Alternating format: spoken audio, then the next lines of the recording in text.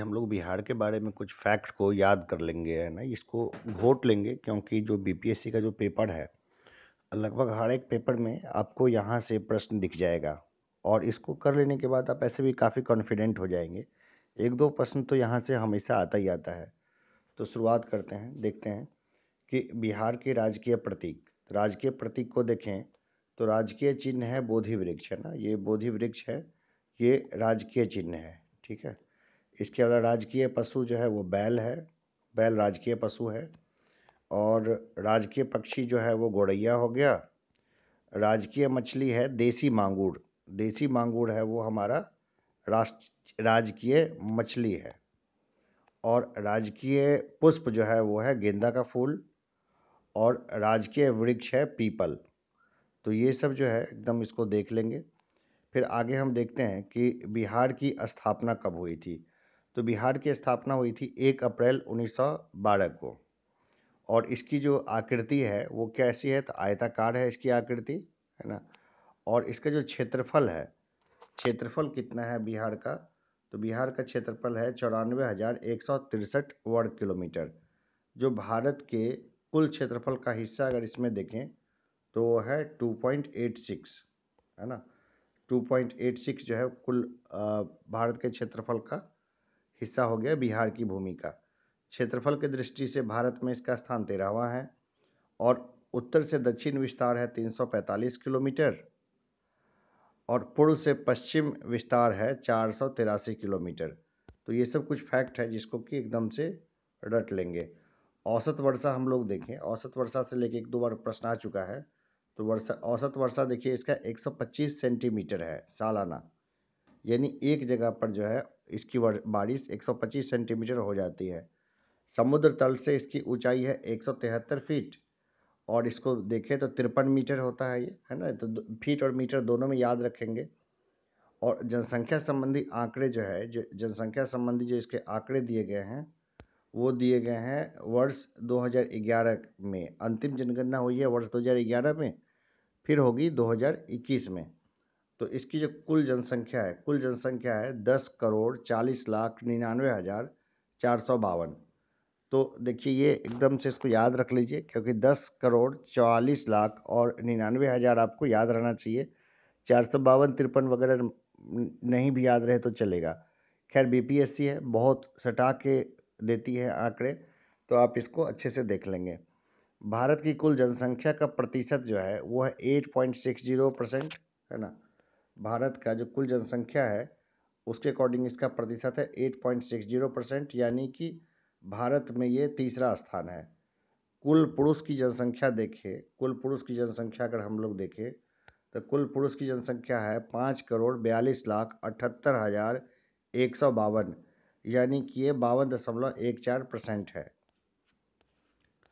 और अब देखते हैं इसकी भौगोलिक स्थिति को देखते हैं। तो इस, ये जो है, चौबीस डिग्री बीस मिनट दस सेकेंड उत्तरी अक्षांश से सत्ताईस डिग्री इकतीस मिनट पंद्रह सेकेंड उत्तरी अक्षांश तक ये फैला हुआ है। उसी तरह तिरासी डिग्री उन्नीस, तिरासी डिग्री उन्नीस मिनट पंद्रह सेकेंड पूर्वी देशांतर से अठासी डिग्री सत्रह मिनट चालीस सेकेंड पूर्वी देशांतर तक ये फैला हुआ है। इसको याद रखने का एक ही तरीका है कि बार बार देखिए आपको ये याद आ जाएगा, बस एकदम रटा रटा जाएगा, कोई दिक्कत नहीं आएगा इसमें। बिहार राज्य का निर्माण एवं पुनर्गठन तो प्राचीन काल में मगध, वज्जी, अंग आदि महाजनपदों के रूप में था ये, और मध्यकाल में जो है, मुगलों एवं शेरशाह सूरी के अधीन प्रांतीय प्रशासनिक इकाई के रूप में ये बना। यानी कि मध्यकाल में बिहार राजधानी राजधानी नहीं रहा, ये बस शेरशाह सूरी ने इसको प्रांतीय राजधानी बनाया था। वर्ष 1912 तक बंगाल प्रेसिडेंसी के अधीन रहा और 22 मार्च 1912 को बिहार एवं उड़ीसा प्रांत के रूप में गठित हुआ। 1 अप्रैल 1936 को बिहार नामक पृथक प्रांत का गठन हुआ। वर्ष उन्नीस सौ सैंतालीस स्वतंत्र भारत के राज्य के रूप में ये फिर इमर्ज हुआ। वर्ष उन्नीस सौ छप्पन में बिहार के कुल जंगली भाषा क्षेत्र बंगाल को स्थानांतरित हो गए। बंगाली भाषी क्षेत्र, माफ़ करिएगा, जंगली मैंने इसको पढ़ दिया था या ना, बंगाली भाषी क्षेत्र, यानी बिहार के कुल बंगाली भाषी क्षेत्र बंगाल में स्थानांतरित हो गए। 15 नवंबर 2000 को बिहार से झारखंड अलग हो गया और इस तरह से वर्तमान बिहार अस्तित्व में आया। अब हम लोग यहाँ से पुरुष हमने देखा था, अब इधर देख लेते हैं कि अगर देखें कुल महिलाओं की तो भारत बिहार में कुल महिलाओं की जो संख्या है, वो है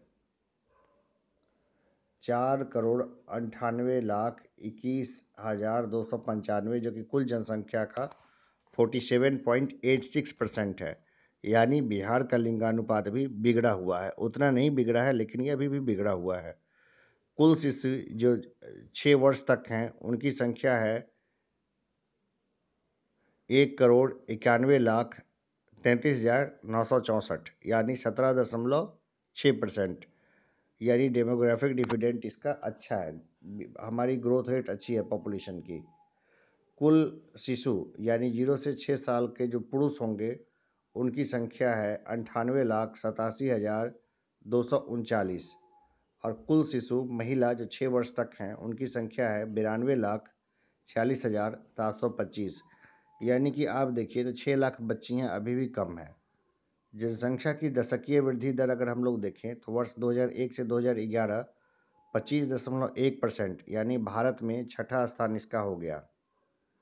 और जनसंख्या के, की औसत वृद्धि, वार्षिक औसत वृद्धि जो है, वो 2001 से लेकर 2011 तक जो रही है, वो रही है दो दशमलव पाँच चार प्रतिशत।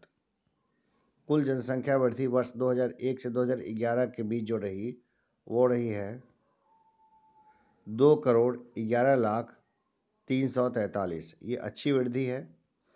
वार्षिक सर्वाधिक दशकीय वृद्धि दर वाला जिला हो गया मधेपुरा। यहाँ पर इकतीस दशमलव एक परसेंट की वृद्धि हुई है। न्यूनतम दशकीय वृद्धि वाला जिला हो गया गोपालगंज। यहाँ पर उन्नीस दशमलव ज़ीरो परसेंट की वृद्धि हुई है।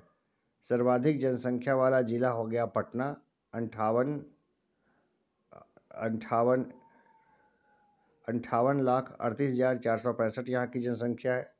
न्यूनतम जनसंख्या वाला ज़िला हो गया शेखपुरा।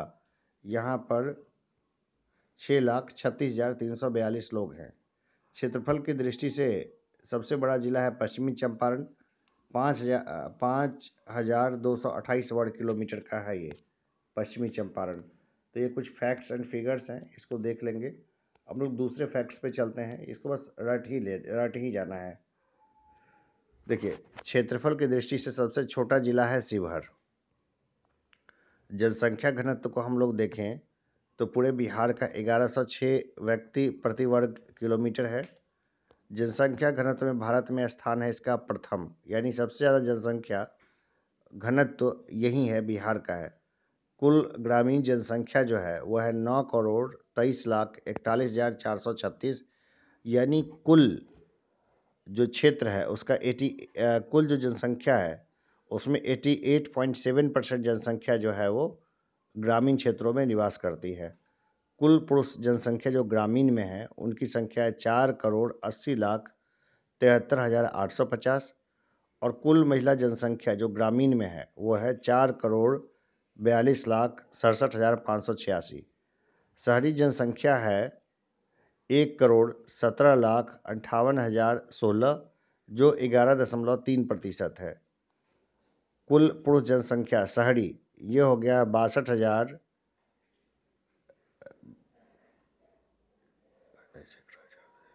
बासठ लाख चार हज़ार तीन सौ सात, और कुल महिला जनसंख्या शहरी हो गया पचपन लाख तिरपन हज़ार सात सौ नौ। जन्म दर अगर हम लोग देख लें तो तीस दशमलव नौ प्रति हज़ार है, और मृत्यु दर है सात दशमलव नौ प्रति हज़ार। शिशु मृत्यु दर जो है, वो है इकसठ प्रति हज़ार जीवित जन्म, और मातृत्व मृत्यु दर है तीन सौ इकतीस, एक लाख जीवित जन्म पर। यानी एक लाख महिलाएँ जो जन्म देती है बच्चों को, उसमें तीन सौ इकतीस जन्म देने के दौरान ही उनकी मौत हो जाती है। अधिकतम अनुसूचित जाति की जनसंख्या वाला जिला है गया, जहाँ पे तीस दशमलव चार परसेंट जो है अनुसूचित जाति के लोग रहते हैं। और न्यूनतम अनुसूचित जाति की जनसंख्या वाला जिला है शिवहर। न्यूनतम अनुसूचित जाति प्रतिशत वाला जिला है किशनगंज, जहाँ पे छः दशमलव सात परसेंट जो है न्यूनतम अनुसूचित जाति के लोग हैं। राज्य की कुल जनसंख्या में अनुसूचित जातियों का प्रतिशत है 15.72 परसेंट। अनुसूचित जनजातियों की अधिकतम जनसंख्या वाला जिला और प्रतिशत। तो पश्चिम चंपारण है छिक्स दशमलव फोर परसेंट। यहाँ पे ट्राइब्स ज़्यादा हैं। न्यूनतम अनुसूचित जनजाति की जनसंख्या वाला जिला है शिवहर। कुल जनसंख्या में अनुसूचित जनजातियों का प्रतिशत है एक दशमलव तीन प्रतिशत। राज्य में लिंगानुपात को देखिए तो 918 महिलाएँ प्रति 1000 पुरुषों पर है। शिशु लिंगानुपात है। 935 बालिकाएँ प्रति 1000 बालक पर है। लिंगानुपात की दृष्टि से देश के राज्य में क्रम है इसका चौबीसवां। सर्वाधिक लिंगानुपात वाला जिला है गोपालगंज। यानी यहाँ पर जो है एक हज़ार एक एक हज़ार इक्कीस महिलाएँ हैं एक हज़ार पुरुष पर। न्यूनतम लिंगानुपात वाला जिला है मुंगेर। यहाँ पे आठ सौ छिहत्तर महिलाएँ हैं एक हज़ार पुरुष के पीछे। सर्वाधिक नगरीय जनसंख्या वाला जिला है पटना, जो तैंतालीस दशमलव चार आठ प्रतिशत नगरीकृत है। न्यूनतम नगरीय जनसंख्या वाला जिला है समस्तीपुर, जो मात्र तीन दशमलव चार छः परसेंट ही ये नगरीकृत है। राज्य में कुल साक्षरता दर है इकसठ दशमलव आठ प्रतिशत, पुरुष साक्षरता दर है seventy one point two percent, महिला साक्षरता दर है इक्यावन दशमलव पाँच परसेंट। सर्वाधिक साक्षरता दर वाला जिला है रोहतास। यहाँ पे तिहत्तर दशमलव चार परसेंट लोग साक्षर हैं। न्यूनतम साक्षरता दर वाला जिला है पूर्णिया। यहाँ पे इक्यावन दशमलव एक परसेंट लोग साक्षर हैं। साक्षरता की दृष्टि से देश में क्रम है तिर पैंतीसवा, सबसे नीचे है ये बिहार। कई यूनियन टेरिटोरी से भी नीचे है तो इसको ध्यान रखेंगे। इस तरह का क्वेश्चन आता है कई बार। सर्वाधिक साक्षरता दर पुरुष, ये है रोहतास में। 82.9 परसेंट जो है यहाँ पर पुरुष साक्षर है। न्यूनतम साक्षरता दर वाला जो जिला है पुरुष में वो है पूर्णिया। यहाँ पे 59.4 परसेंट पुरुषी साक्षर हैं। सर्वाधिक साक्षरता दर महिला, ये है रोहतास में, जहाँ पे तिरसठ दशमलव ज़ीरो परसेंट महिलाएँ साक्षर है। न्यूनतम साक्षरता दर महिला जो है वो है सहरसा में, जहाँ पे इकतालीस दशमलव सात परसेंट ही न्यूनतम साक्षर साक्षरता है। राजकीय भाषा हिंदी है, द्वितीय राजकीय भाषा उर्दू है, बिहार दिवस 22 मार्च को मनाया जाता है, राजकीय मेघा दिवस जो है वो तीन दिसंबर को मनाया जाता है। बिहार विद्यालय परीक्षा समिति ने डॉक्टर राजेंद्र प्रसाद के जन्म दिवस तीन दिसंबर को प्रत्येक वर्ष मेघा दिवस के रूप में मनाने का निर्णय लिया है। डाल्फिन दिवस पाँच अक्टूबर को मनाया जाता है। राज्य प्रार्थना है, मेरी रफ्तार पे सूरज की किरण राज करे। और राज्य गीत है इसका, मेरे भारत के कंठाहार, तुझको सशत नमन वंदन विहार। सर्वाधिक जनसंख्या वाले ज़िले घटते क्रम में हैं। सबसे पटना, फिर पूर्वी चंपारण, फिर मुजफ्फरपुर, फिर मधुबनी। न्यूनतम जनसंख्या वाले चार ज़िले हैं। बढ़ते क्रम में शेखपुरा, शिवहर अरवल तथा लखीसराय। सर्वाधिक जनसंख्या वाले चार ज़िले हैं। घटते क्रम में शिवहर, पटना, दरभंगा तथा वैशाली। न्यूनतम जनघनत्व वाले चार ज़िले बढ़ते क्रम में हैं कैमूर, जमुई, बांका तथा पश्चिमी चंपारण। सर्वाधिक क्षेत्रफल वाले ज़िले घटते क्रम में हैं पश्चिमी चंपारण, गया, पूर्वी चंपारण तथा रोहतास। न्यूनतम क्षेत्रफल वाले ज़िले हैं बढ़ते क्रम में शिवहर अरवल शेखपुरा तथा लखीसराय। सर्वाधिक लिंगानुपात वाले ज़िले हैं घटते क्रम में गोपालगंज, सिवान, सारण तथा किशनगंज। सर्वाधिक साक्षरता दर वाले ज़िले घटते क्रम में हैं रोहतास, पटना, भोजपुर, मुंगेर। न्यूनतम साक्षरता दर वाले ज़िले हैं बढ़ते क्रम में पूर्णिया, सीतामढ़ी, कटिहार, मधेपुरा।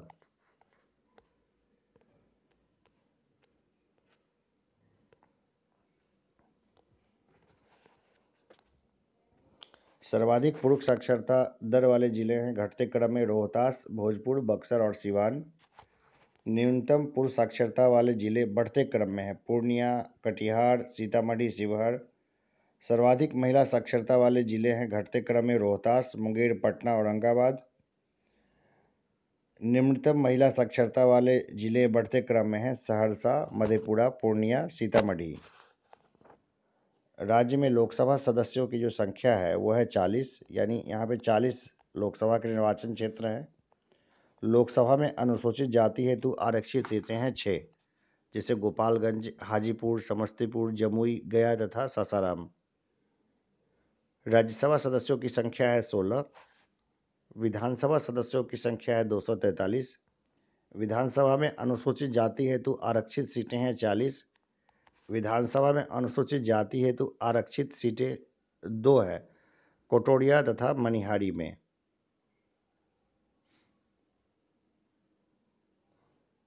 विधान परिषद की संख्या है पचहत्तर, राज्य की विधायिका है द्विसदनीय बिहार में प्रमंडल है नौ, यानी पटना, सारण, मगध, दरभंगा, तिरहुत, पूर्णिया, कोसी, भागलपुर, बिहार में कुल ज़िले हैं अड़तीस, अड़तीसवां जिला हो गया अरवल बिहार में कुल अनुमंडल तहसील हैं 101 उच्च न्यायालय है पटना, राष्ट्रीय पार्क है सिर्फ़ एक वाल्मीकि नगर राष्ट्रीय उद्यान पश्चिमी चंपारण में। ये टाइगर रिज़र्व भी है वहाँ का। सर्वाधिक गर्म जिला और सर्वाधिक ठंडा जिला एक ही है, वो है गया। सबसे कम वर्षा वाला जिला जो है, वो है औरंगाबाद। सर्वाधिक वर्षा वाला जिला हो गया किशनगंज। सबसे बड़ी सिंचाई परियोजना है गंडक परियोजना। और बिहार में सकल घरेलू उत्पाद की वृद्धि दर है 2016-17 के अनुसार दस दशमलव तीन प्रतिशत। अभी बढ़ गई है, ग्यारह परसेंट से ऊपर हो गई, ग्यारह दशमलव तीन है। तो राष्ट्रीय औसत से अभी हमारी ज़्यादा है तो मैं इकोनॉमिक सर्वे लेके आऊँगा तो उसमें डिटेल होगा। बिहार की सकल घरेलू उत्पाद वर्ष 2011-12 के में स्थित मूल्य के आधार पर प्रति व्यक्ति है उनतीस हज़ार एक सौ अठहत्तर रुपये। बिहार की सकल घरेलू उत्पाद के वर्तमान मूल्य वर्ष 2016-17 के आधार पर प्रति व्यक्ति आय है अड़तीस हज़ार पाँच सौ छियालीस रुपये। बिहार में मुद्रास्फीति की समग्र दर है दो दशमलव दो प्रतिशत, संपूर्ण भारत से तीन दशमलव छः परसेंट। वर्ष 2016-17 में बिहार की प्रति व्यक्ति आय संपूर्ण भारत के औसत का 32.4 परसेंट था। प्रति व्यक्ति आय की तालिका में बिहार की स्थिति देश के सभी राज्यों से निम्न है। राज्य में प्रति व्यक्ति विकास व्यय वर्ष 2016-17 में रहा तीन हज़ार सात सौ सड़सठ रुपये। अभी डेटा चेंज हो गया है इकोनॉमिक सर्वे का डेटा देखेंगे लेटेस्ट का तो हम देखेंगे। मुख्यमंत्री हैं नीतीश कुमार, राज्यपाल जो है वो चेंज हो गए हैं। राज्यपाल जो है अभी, बिहार के राज्यपाल अभी हैं, वो है फागू चौहान, है ना? फागू चौहान।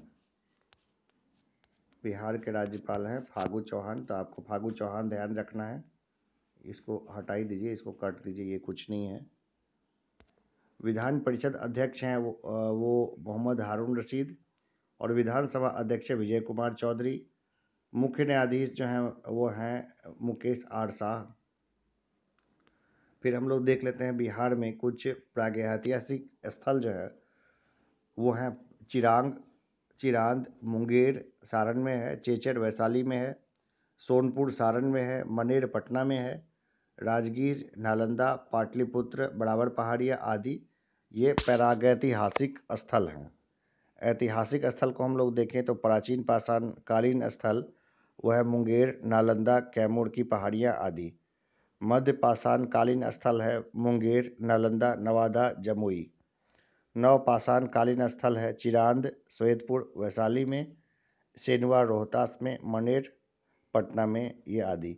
तो ये जो फैक्ट हैं, इनको तो आपको बिल्कुल घोट लेना है। ये अभी जो इंटरव्यू होगा उसके लिए और जो लोग प्री दे रहे हैं उनके लिए, दोनों के लिए समान रूप से काफ़ी उपयोगी है। इसको बस घोट लेना है। एक आध क्वेश्चन अगर यहाँ से दिख गए तो आपका बेनिफिट है। एक क्वेश्चन नहीं बन रहा। दरअसल अगर आपको एक आध क्वेश्चन ही एक्स्ट्रा बन जाता है तो आप मेरिट लिस्ट में या तो रह सकते हैं या तो बाहर निकल सकते हैं। चलिए इतना ही। धन्यवाद।